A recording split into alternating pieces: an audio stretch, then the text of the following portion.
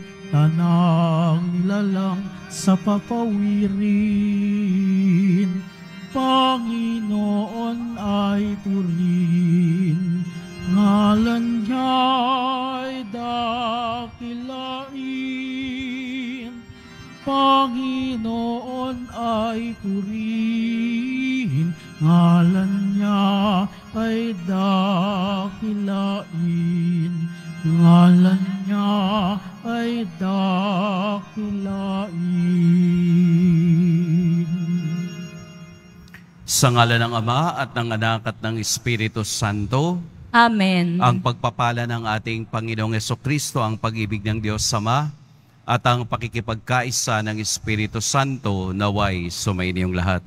At sumaiyo rin. Mga kapatid, sa sandaling katahimikan, aminin natin ang ating mga kasalanan upang tayo maging marapat gumanap sa banal na pagdiriwang.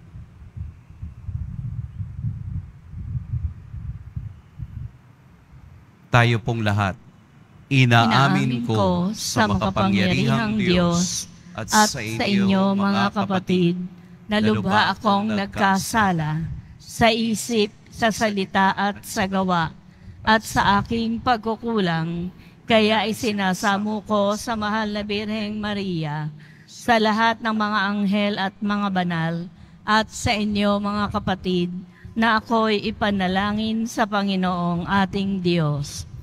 Kaawaan tayo ng makapangyarihang Diyos, patawarin tayo sa ating mga kasalanan, at patnubayan tayo sa buhay na walang hanggan.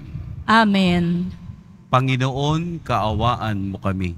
Panginoon, kaawaan mo kami. Kristo, kaawaan mo kami. Kristo, kaawaan mo kami. Panginoon, kaawaan mo kami. Panginoon, kaawaan mo kami.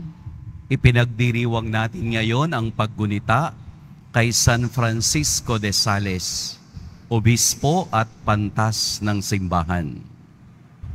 Manalangin tayo. Ama naming makapangyarihan, upang mailigtas ang mga hinirang mo, niloob mong ang obispong si San Francisco ay makibagay sa lahat ng tao. Ipagkaloob mong ang kaniyang pagkauliran sa matiyagang pagmamalasakit sa kapwa ay lagi naping maipamalas sa paglilingkod sa aming mga kapatid. Sa pamamagitan ni Heso Kristo, kasama ng Espiritu Santo, magpa sa walang hanggan. Amen. Magsayo po muna po tayong lahat. Pagbasa mula sa ikalawang aklat ni Samuel. Noong mga araw na iyon, sinabi ng Panginoon kay Nathan, Ganito ang sabihin mo kay David, Ipagtatayo mo ba ako ng tahanan mula nang ilabas ko sa Ehipto ang Israel, wala pa akong bahay na masasabing akin. Hanggang ngayon, tolda pa ang aking tahanan, kahit lagi akong kasama ng Israel. Wala akong sinabing anuman sa sinumang hukom tungkol sa tahanang sedro na dapat kong tirahan. Gayong ako ang pumili sa kanila upang mamahala sa aking kawan.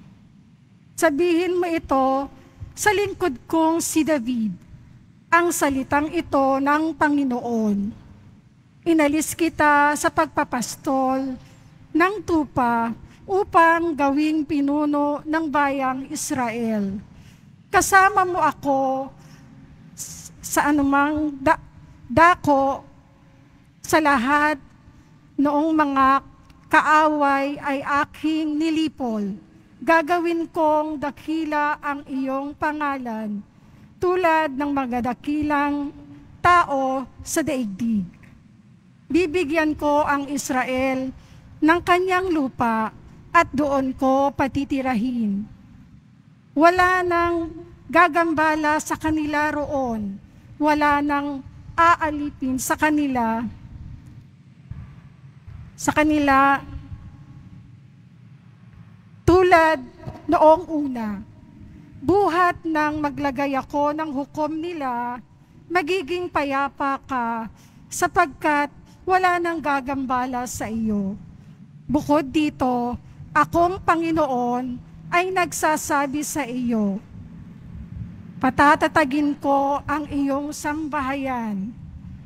Pagkamatay mo, isa sa iyong mga anak ang papalit ko sa iyo.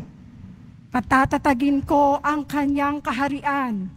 Siya ang magtatayo ng templo para sa akin. At sa kanyang angkan, magmumula ang maghahari sa aking bayan magpakailanman. Kikilalanin ko siyang anak at ako na may magiging ama niya parurusahan ko siya tulad ng pagpaparusa ng ama sa nagkasalang anak. Ngunit ang paglingap ko sa kanya'y hindi magbabago, di tulad ng nangyari kay Saul. Magiging matatag ang iyong sambahayan. Ang iyong kahari ay hindi magwawaglit sa aking paningin sa mananatili ang iyong ang iyong trono. Isinay, isinaysay ni Nathan kay David ang lahat ng sinabi sa kanya ng Panginoon. Ang salita ng Diyos. Salamat sa Diyos. Sa kanyang mananatili ang aking pag-ibig lagi. Sa Kanya mananatili ang aking pag-ibig lagi. Sabi mo, O Poon, ikaw ang may tipan na iyong ginawa kay David mong hirang. At ito ang iyong pangakong iniwan. Isa sa lahim mo'y laging maghahari. Ang kaharian mo ay mamamalagi. Sa Kanya mananatili ang aking pag-ibig lagi. Ako'y, ako'y tatawaging ama niya't Diyos, tagapagsanggalang niya't manunubos. Gagawin ko iyong anak na panganay, matapos na hari nitong daigdig, daigdigan. Sa Kanya mananatili ang aking pag-ibig lagi.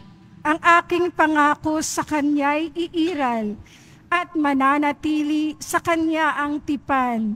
Laging maghahari ang isa niyang angkan, sintadag ng langit yaong kaharian. Sa kanya mananatili ang aking pag-ibig lagi.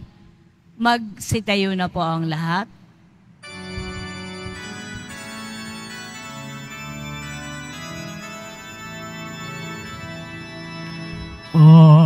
Alleluia,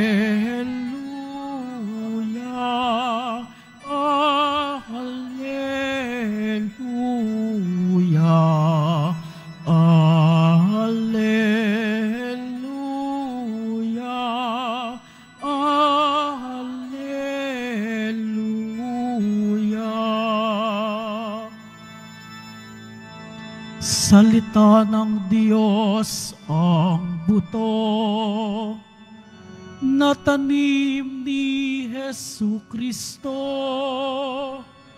upang tumubo sa tao. Alleluia,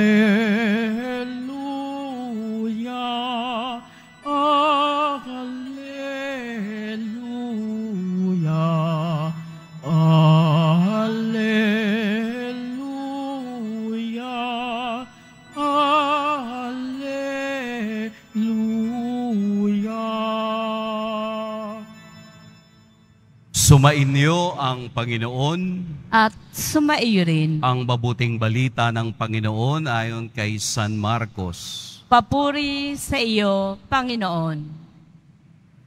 Noong panahong iyon, muling nagturo si Jesus sa tabi ng lawa ng Galilea.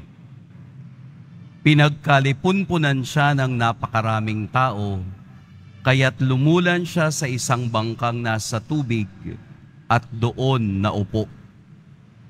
Ang karamihan na may nasa dalampasigan, nasa gilid na ng tubig, at sila'y tinuruan niya ng maraming bagay sa pamamagitan ng talinhaga. Ganito ang sabi niya, Pakinggan ninyo ito. May isang magsasaka na lumabas upang maghasik. Sa kaniyang paghasik, ay may mga binhing nalaglag sa daan. Dumating ang mga ibon at tinuka ang mga iyon may binhi namang nalaglag sa kabatuhan. Agad sumibol ang mga iyon, sapagkat manipis lamang ang lupa doon. Ngunit nang tumindi ang sikat ng araw, nalanta at natuyo ang mga binhing tumubo, palibasay walang gaanong ugat. May binhi namang nalaglag sa dawagan, Lumago ang mga dawag at ininis ang mga binhing tumubo, kaya hindi nakapamunga. At may binhing nalaglag sa matabang lupa, at ito'y tumubo, lumago at nag-uhay na mainam. May uhay na tig tatatlumpu, tig aanim na po, at tig sa sandaang ang butil. Sinabi pa ni Jesus, ang may pandinig ay makinig. Nang nag-iisa na si Jesus, ang ilang nakarinig sa kanya ay lumapit na kasama ng labindalawa at hiniling na ipaliwanag ang talinhaga. Sinabi niya, Sa inyo'y ipinagkaloob na na malaman ang lihim tungkol sa paghahari ng Diyos Ngunit sa iba, ang lahat ay itinuturo sa pamamagitan ng talinhaga. Kaya nga't, tumingin man sila ng tumingin, hindi sila makakita, at makinig man ng makinig, ay hindi makaunawa. Kung gayon, marahil sila'y magbabalik loob sa Diyos at patatawarin naman niya. Pagkatapos, tinanong sila ni Jesus, Hindi pa ba ninyo naunawaan ang talinhagang ito?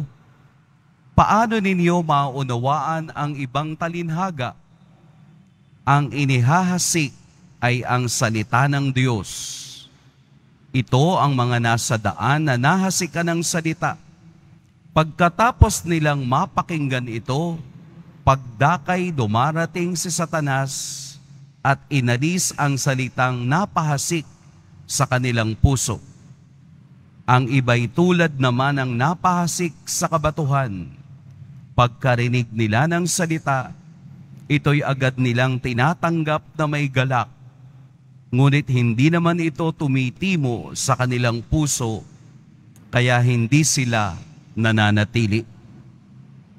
Pagdating sa kahirapan o pag-uusig dahil sa salita, agad silang nanlalamig. Ang iba'y tulad ng napahasik sa dawagan. Dinidinig nga nila ang salita, ngunit sila'y naging abala sa mga bagay ukol sa mundong ito. Naging maibigin sa mga kayamanan at mapanghangan sa iba pang mga bagay. Ano pat ang salitay na wala na ng puwang sa kanilang puso kaya't hindi sila nakapamunga. Ngunit ang iba'y tulad sa binhing napahasik sa matabang lupa. Pinakikinggan nila at tinatanggap ang salita at sila'y nagsisipamunga. May tig tatlumpu, may tig aanim na po, at may tig sa sandaan. Mga kapatid, ang mabuting balita ng Panginoon. Pinupuri ka namin, Panginoong Heso Kristo. Magsiupo muna po ang lahat. Magandang umaga po sa lahat. Gandang umaga po, Father. Ang atin pong ebanghelyo ay isa ng homilya. Kaya dapat hindi na ako mag-homily. Pero para mas maliwanagan natin, ang lahat po ng ating narinig, ang lahat ng ating pagtimo nito sa ating puso, ay ang magdadala sa atin sa pag-unawa kung ano ang gustong iparating sa atin ngayong araw na ito. Ang mahalaga ay makinig.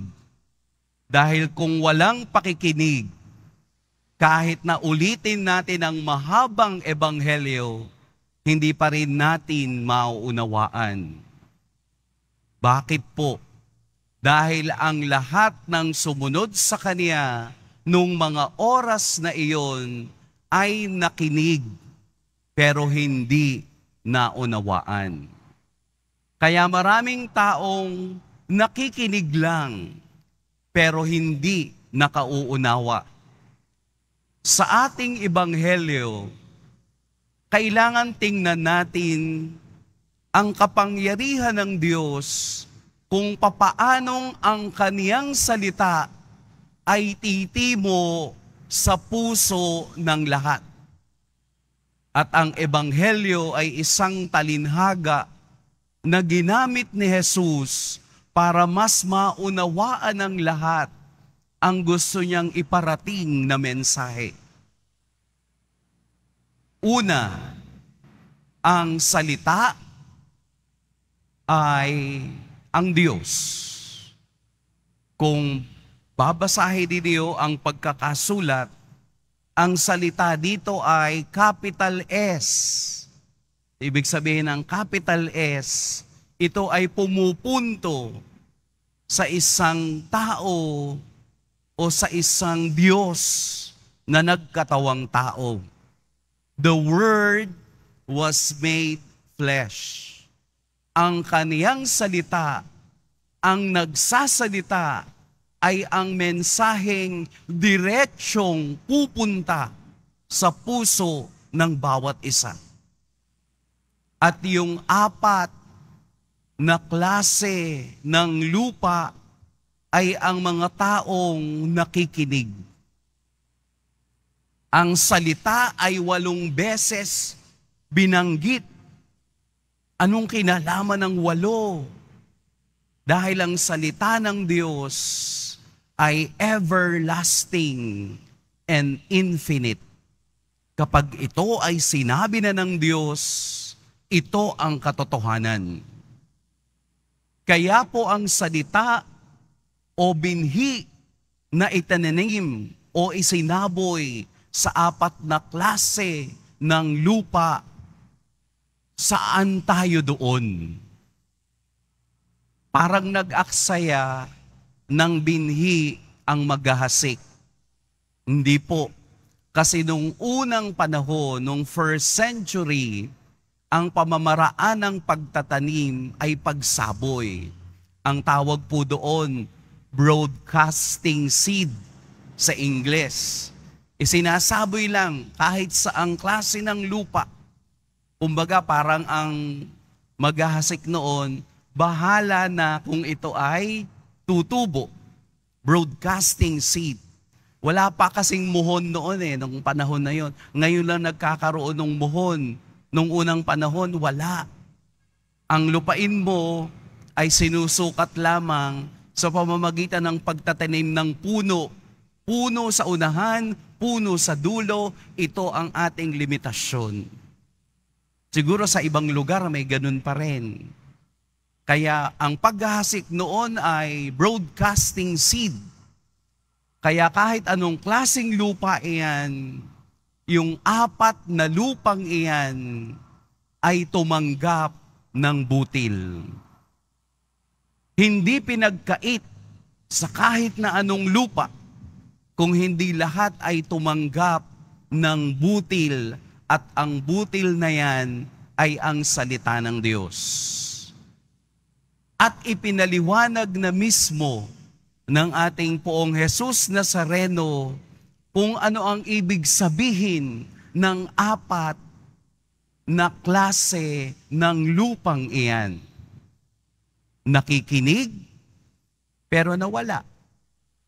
Nakinig, dumating ang jablo, nawala. Nakinig, nagkaroon ng problema, namatay. Nakinig, pero nagbunga. So ano tayo doon sa apat? Kayo po yung makakasagot, hindi po ako. Anong ibig sabihin? Hinahamon tayo ng Diyos kung papaanong ang kaniyang salita ay mamunga sa ating buhay. Hinahamon tayo ni Jesus na hindi masayang yung kaniyang paghahasik sa ating buhay. Hinahamon tayo ng Diyos na tayo ay lumago sa pananampalatayang nakaugat sa kaniyang salita sa araw-araw ng buhay. Huwag tayong matulad sa ibang klaseng lupa na madaling manawa sa salita ng Diyos. Meron po akong isang kwento. Simple lang. Isang araw, ako ay namalengke. Nagkataon na po yung tindera ay ninang ko sa binyag. Kaya laging may dagdag ng manok pag ako'y bumibili. At siya po ay religious, no? Nagsisimba tuwing hapon. Isasara niya yung kanyang tindahan ng manukan at siya ay magsisimba. Habang ako'y bumibili, may bumili rin na kasabay. Kumare, pabili ng manok. Eh, saan ka ba galing? Ako'y nagsimba. Pagkatapos kong magsimba, dumiretso na ako dito. Ay, mabuti. Eh dahil yung aking ninang ay religious, napatanong siya doon sa bumili ng manok. Ay nakasimba ka na pala. Ano ba yung ebanghelyo? Ano ba yung ebanghelyo? Bigla siya nag-isip. Anong ebanghelyo? Ano po yung ebanghelyo? Yung ano ba, yung binabasa nung pare, yun yung ebanghelyo. Naku mare, hindi ko na bala, ano yan, hindi ko na yan pinapansin. Ang mahalaga, nakasimba ako. E di patay. So hindi tumitimo yung salita ng Diyos na kada simba ay ating binabasa at binibigyan ng reflection. Kaya wag niyong sasabihin na kayo ay Kristiyano o Katoliko for that matter na hindi nagbabasa ng Biblia. Hindi. Nagbabasa tayo at nakikinig sa salita ng Diyos. Yung mga lumalayas na tinanggap at laging naririto sa Ebanghelyo, ang lumalayas at pumupunta sa iba at nagbida-bida, sasabihin doon niya natutunan dahil sa katoliko, hindi daw nagbabasa ng Biblia. E di bato ka. Isa ka sa dinaraanan na konting bagay bumibigay at mismong ang kaniyang pananampalataya ay hindi niya natututunan. Ito ang pinakamensahe ng Ebanghelyo ngayon. Dadaan muli ang araw. Dadaan muli ang salita ng Diyos sa ating mga puso. Tingnan ninyo, ang ginamit ay puso, hindi ginamit ang tenga. Dahil pumapasok sa puso ang salita ng Diyos. Hayaan nating lumago ang salita ng Diyos kahit na saglit lamang tayong nakapakinig. Sapagkat ang pananampalataya ay lalago sa pakikinig at ang pakikinig na yan ay dinadala sa puso at ang laman ng puso ang isinasabuhay ng bawat isa.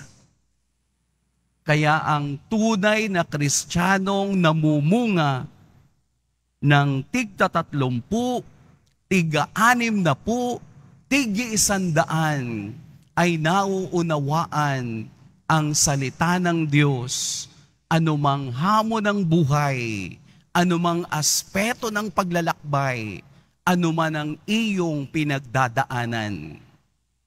Sapagkat ang katotohanan, kapag tinanggap natin ang salita ng Diyos, lalago tayo't lalakas sa ating buhay, pananampalataya at buhay na meron tayo na nakaugat sa pag-ibig at awa ng Diyos.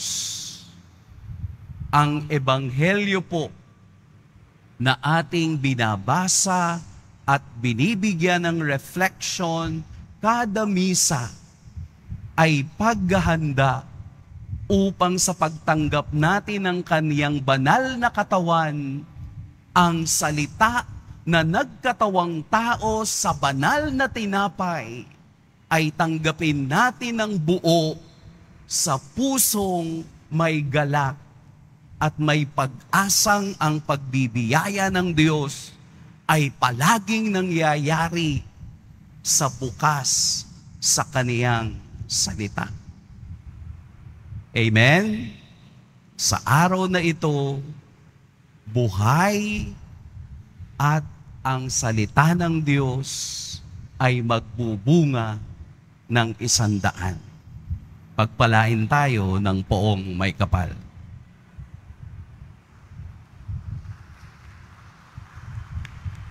Magsitayo na po ang lahat.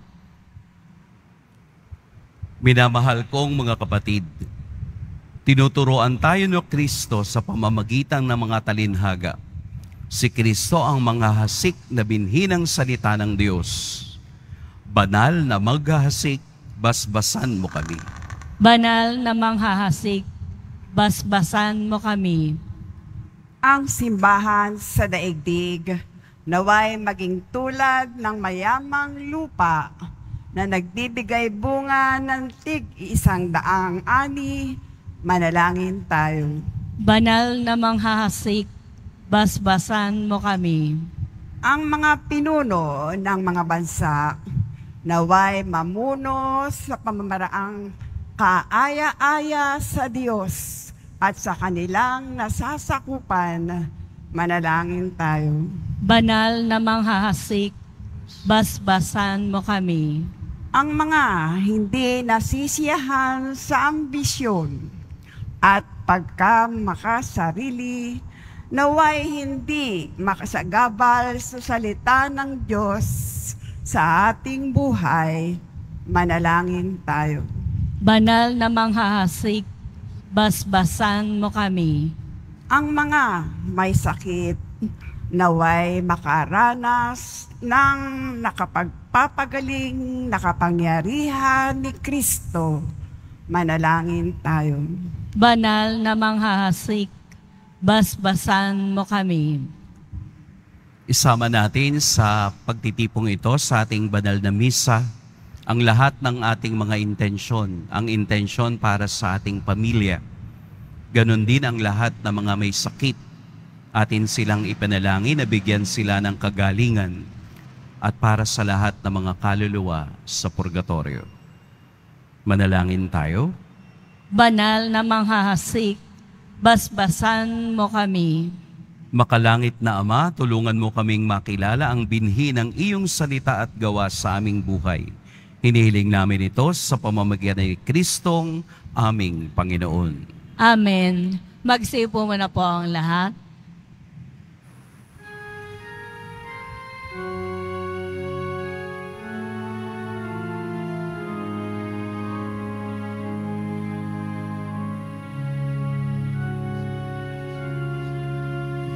Itong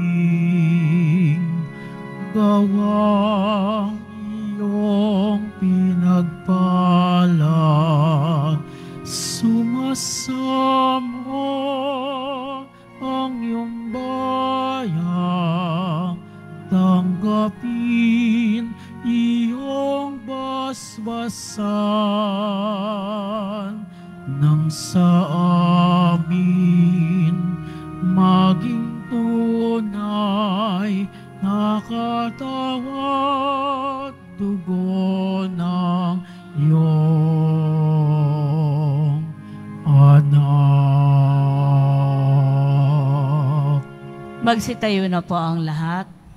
Manalangin kayo mga kapatid upang ang paghahain natin ay kalugdan ng Diyos amang makapangyarihan. Tanggapin nawa ng Panginoon itong paghahain sa iyong mga kamay sa kapurihan niya at karangalan sa ating kapakinabangan at sa buong sambayanan niyang banal. Ama naming lumikha, sa ginanap naming paghahaing nagdudulot ng kaligtasan, ang aming puso ay pagningasin nawa ng iyong Espiritu Santo na nagpaalab kay San Francisco para siya'y umamo at makaakit na mga nagmamahal sa iyo. Sa pamamagitan ni Heso Kristo, kasama ng Espiritu Santo, magpa sa walang hanggan. Amen. Sumainyo ang Panginoon. At sumaiyo rin. Itaas sa Diyos ang inyong puso at diwa. Itinaas na namin sa Panginoon. Pasalamatan natin ang Panginoong ating Diyos. Marapat na siya ay pasalamatan. Ama naming makapangyarihan, tunay ngang marapat na ikaw ay aming pasalamatan sa pamamagitan ni Yeso Kristo na aming Panginoon. Ngayong si San Francisco ay pinararangalan sa pamumuhay niyang totoong uliran at pagiging maaasahan sa panunungkulan, kaya't si Yeso Kristo na maaasahan sa katapatan ay inihahayag sa pangangasiwa sa sambayanan. Ang malasakit na mga ulirang tagapangasiwa noon ay nagpapatuloy magpahanggang ngayon sa mga panalangin kanilang inuukol kaisa ng sambayanan mong dito'y nagtitipon. Kaya kaisa ng mga anghel na nagsisiawit ng papuri sa iyo, nang walang humpay sa kalangitan, kami nagbubunyi sa iyong kadakilaan. Santo, Santo, Santo, Panginoong Diyos ng mga hukbo, napupuno ang langit at lupa ng kadakilaan mo, o sana sa kaitaasan, pinagpala ang naparirito sa ngalan ng Panginoon, o sana sa kaitaasan, magsilod po ang lahat. Ama naming banal, ikaw ang bukal ng tanang kabanalan. Kaya't sa pamamagitan ng iyong Espiritu, gawin mong banal ang kaloob na ito upang para sa amin maging katawan at dugo ng aming Panginoong Heso Kristo. Bago niya pinagtiis ang kusang loob na maging handog, hinawakan niya ang tinapay, pinasalamatan kaniya, pinaghati-hati niya yon, iniabot sa kaniyang mga alagad at sinabi, Tanggapin ninyong lahat ito at kanin, ito ang aking katawan na ihahandog para sa inyo.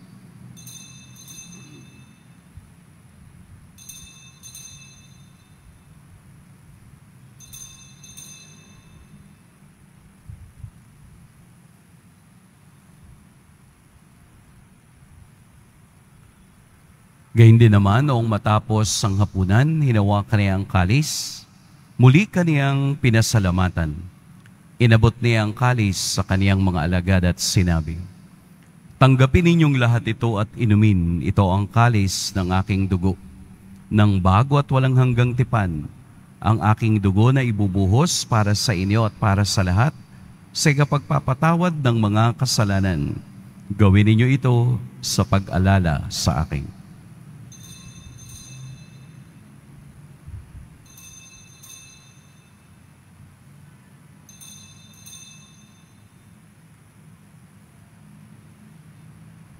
Magsitayo na po ang lahat.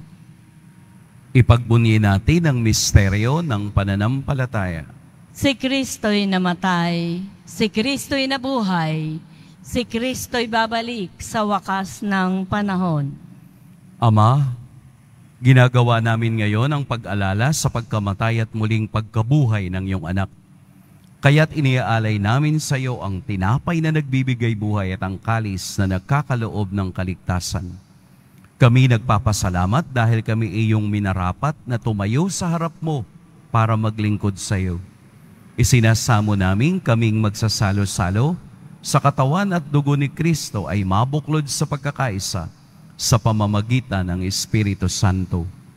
Ama, lingapin mo yung simbahang laganap sa buong daigdig.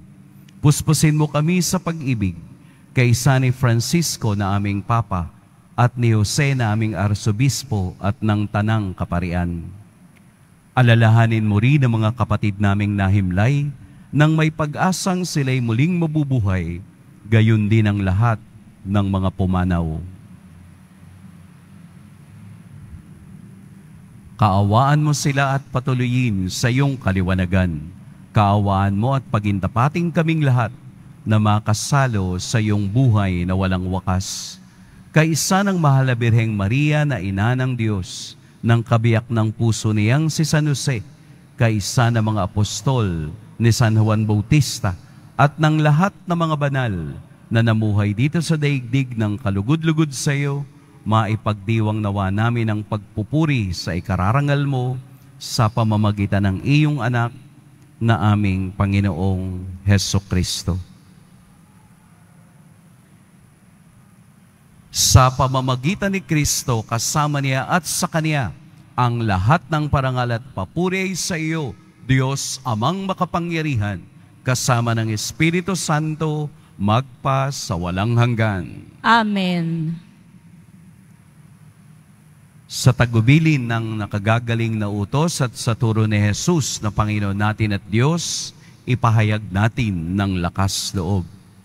Ama namin, Sumasalangit ka, sambahin ang ngalan mo, mapasa amin ang kaharian mo, sundin ang loob mo dito sa lupa para nang sa langit. Bigyan mo kami ngayon ng aming kakanin sa araw-araw at patawarin mo kami sa aming mga sala para ng pagpapatawad namin sa nagkakasala sa amin. At huwag mo kaming ipahintulot sa tukso at iadya mo kami sa lahat ng masama. hinihiling namin kami yadiyas sa lahat ng masama. Pagkalooban ng kapayapaan araw-araw, iligtas sa kasalanan at ilayo sa lahat ng kapahamakan. Samantalang aming pinananabikan ang dakilang araw ng pagpapahayag ng tagapagligtas naming si Heso Kristo.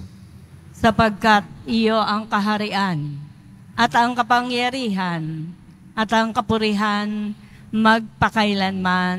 Amen. Panginoong Yeso Kristo, sinabi mo sa iyong mga apostol, Kapayapaan ang iniiwan ko sa inyo, ang aking kapayapaan ang ibinibigay ko sa inyo. Tunghayan mo ang aming pananampalataya at huwag ang aming pagkakasala. Pagkalooban mo kami ng kapayapaan at pagkakaisa ayon sa iyong kalooban, kasama ng Espiritu Santo, magpa sa walang hanggan. Amen. Ang kapayapaan ng Panginoon naway laging sumainiyong lahat. At sumaiyo rin. Magbigayan kayo ng kapayapaan sa isa't isa.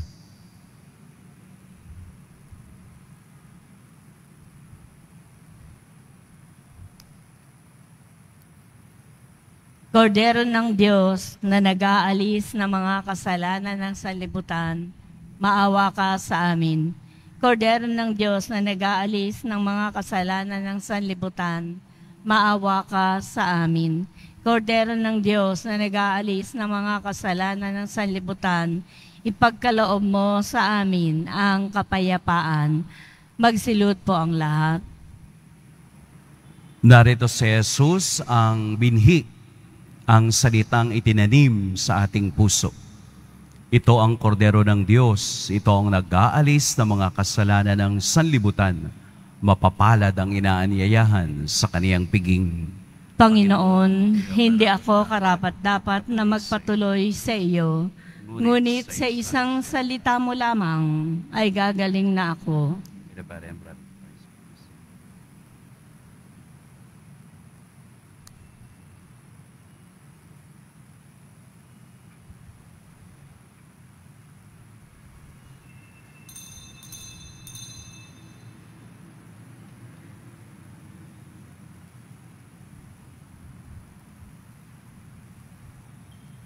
Para po sa lahat ng tatanggap ng banal na komunyon, sasagot po tayo ng amen pagkasabi po ng pari o ng lay ministers ng katawan ni Kristo. At isubo po agad sa bibig bago umali sa harapan ng pari o ng lay ministers. Sumunod po tayo at maraming salamat po.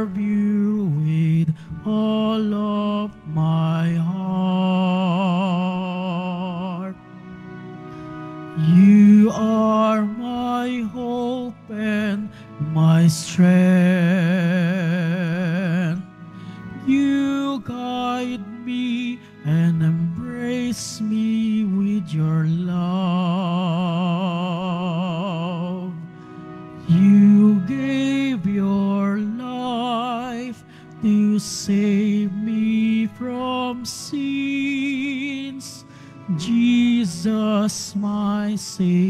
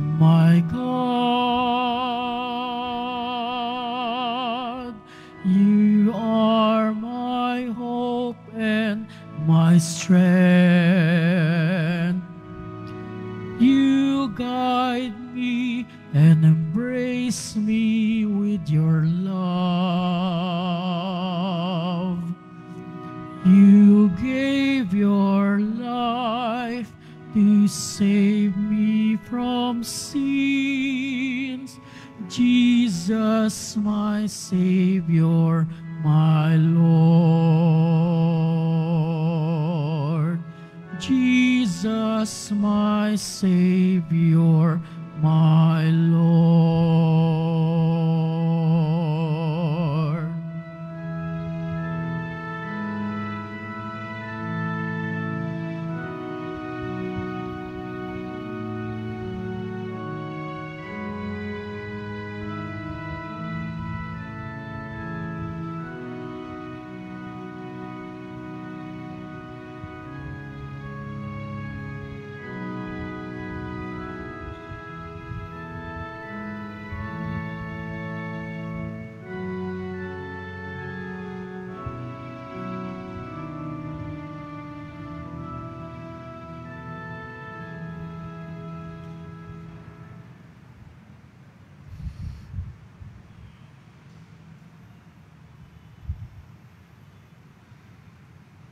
Announcement para po sa lahat po ng may lumang palaspas na ginamit noong linggo ng palaspas.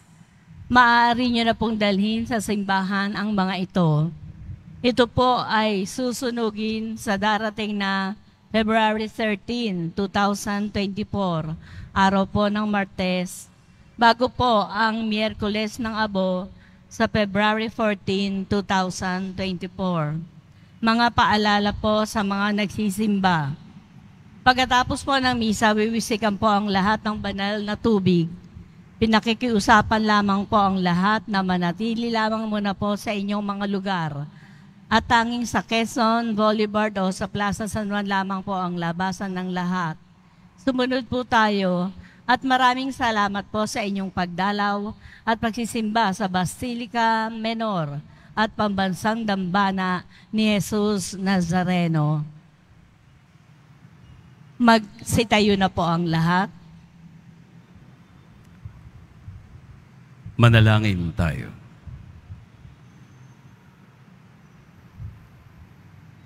Ama naming mapagmahal, Ipagkaloob mong ang tinanggap naming banal na pakikinabang ay magtaguyod sa aming pagtulad sa pag-ibig at matiyagang pagmamalasakit ni San Francisco de Sales upang aming makamtan ang kalwalhatian sa piling mo sa pamamagitan ni Heso Kristo kasama ng Espiritu Santo magpas sa walang hanggan. Amen. Sumainyo ang Panginoon. At sumaiyo rin. Ibuko kayo para sa pagbabasbas. Mahal na poong Jesus Nazareno, inihayag mo sa pamamagitan ng krus ang walang maliw na pag-ibig ng Diyos sa sangkatauhan. Pakinggan mo po ang kahilingan ng iyong angkan na nagsusumamo sa iyo. Makamtanawa nilang iyong katugunan at tanggapin ang kasagutan na may utang na loob na tinatanaw. Basbasan din po ninyo ang mga daladala nilang mga imahen at dasalan sa pamamagitan ng bendisyon na ito, naway maalala nila ang mga pangako nila noon sa binyag na ikaw ang kanilang iibigin at paglilingkuran bilang Panginoon magpas sa walang hanggan. Amen. At pagpalain kayo ng makapangyarihan at mapagmahal na Diyos, ang Ama at Anak at Espiritu Santo. Amen. Tapos na ang ating pagdiriwang, humayo kayong taglayang kapayapaan ng poong Jesus Nazareno. Salamat sa Diyos.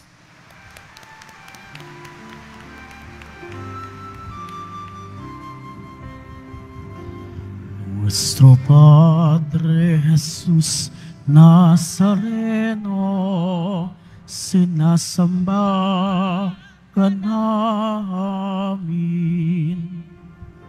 Pinipintuho ka namin. Aral mo ang aming buhay at kaligtasan. Nuestro Padre Jesus Nazareno, iligtas mo kami sa kasalanan.